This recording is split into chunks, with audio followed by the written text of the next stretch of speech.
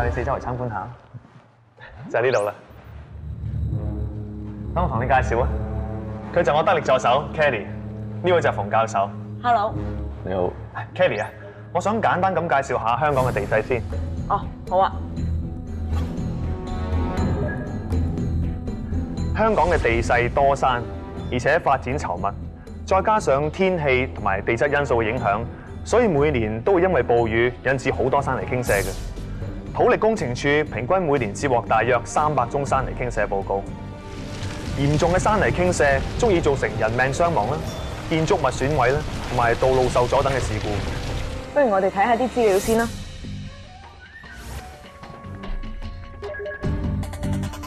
一九七二年嘅六月十八日，港島半山區寶山道同埋九龍秀茂坪先後發生咗兩次嚴重嘅山泥傾瀉事故，引致一百三十八人喪生。跟住去到一九七六年嘅八月二十五日，秀茂坪再次发生严重嘅山泥倾泻事故，引致十八人死亡。香港实在唔能够再承受好似秀茂坪同埋宝山道呢啲咁严重嘅山泥倾泻事故出现，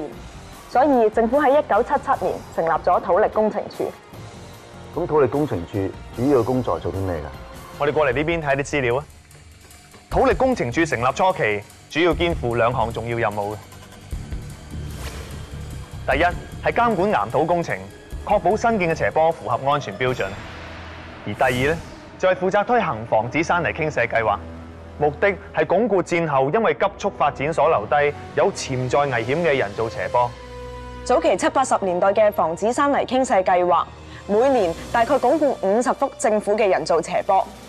主要針對嘅咧就係高樓大廈啦、公共屋邨、醫院同埋學校附近嘅人造斜坡。因為一旦喺呢啲人造斜坡嗰度發生山泥傾瀉嘅話，人命傷亡嘅後果將會係不堪設想嘅。進入咗九十年代，土力工程處已經成功阻止嚴重嘅山泥傾瀉災難再次發生。不過，一九九四年西環觀龍樓斜坡發生山泥傾瀉，導致五個人喪生之後，市民大眾對政府鞏固斜坡嘅進度唔係好滿意。所以土力工程處就喺一九九五年開展咗一個五年加速推行防止山泥傾瀉計劃，將鞏固斜坡嘅數目由每一年五十幅大大提升至二百五十幅，而且將範圍擴展至繁忙道路同埋行人路旁邊嘅斜坡。土力工程處透過推行呢個五年加速計劃，山泥傾瀉嘅風險已經逐步減低㗎啦。但係一九九九年石硤尾山泥傾瀉造成七百個災民無家可歸嘅事故，再一次提醒我哋，其實香港仍然有為數唔少嘅高風險人造斜坡仲等緊處理嘅。土力工程處於是喺二千年緊接五年加速計劃，推行延續十年防止山泥傾瀉計劃。目標係要喺二零一零年前鞏固所有影響主要道路及建設嘅高風險斜坡。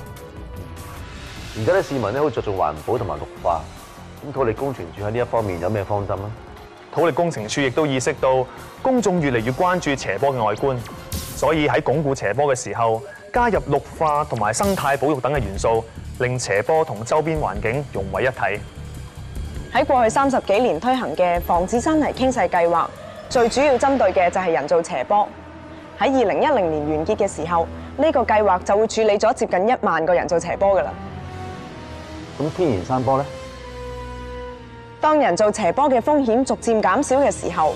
天然山坡對社會構成嘅風險，亦都會因為城市不斷發展而增加。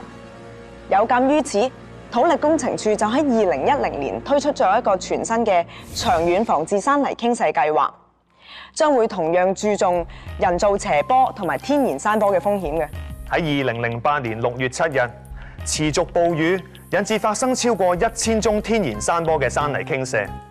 咁足以證明將天然山坡納入新制定嘅防治計劃之內呢個方向係正確嘅。喺長遠防治山泥傾瀉計劃底下，土力工程處每年會鞏固大約一百五十個政府人造斜坡，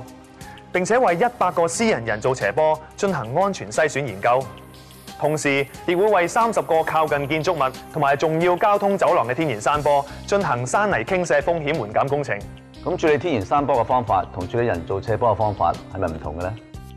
因為喺天然山坡嗰度進行大規模嘅鞏固工程係不切實際，而且費用昂貴嘅，仲會有礙環保。取而代之，我哋就會採取風險緩減措施，即係譬如話泥石欄同埋防護屏障咁，用一啲比較具成本效益嘅方法嚟到緩減天然山坡山泥傾瀉嘅風險。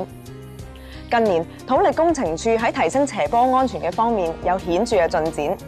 而且仲採取咗先進嘅科技同埋設備。土力工程處亦會經常同世界各地嘅專家交流經驗，令香港嘅岩土工程技術能夠保持喺國際水平嘅最前線。目前全香港已經登記嘅人造斜坡大約有六萬幅。香港嘅土地有六成屬於天然山坡嚟嘅。由於斜坡受外來因素影響，發生山泥傾瀉嘅風險仍然係無可避免嘅。鑑於極端氣候變化難以預計，展望未來喺暴雨期間，香港仍有可能要面對嚴重嘅山泥傾瀉嘅威脅。市民應時刻保持對山泥傾瀉嘅危機意識。土力工程處會繼續努力為市民服務，完善斜坡安全系統，令香港能夠繼續成為一個安全及綠化嘅國際大都會。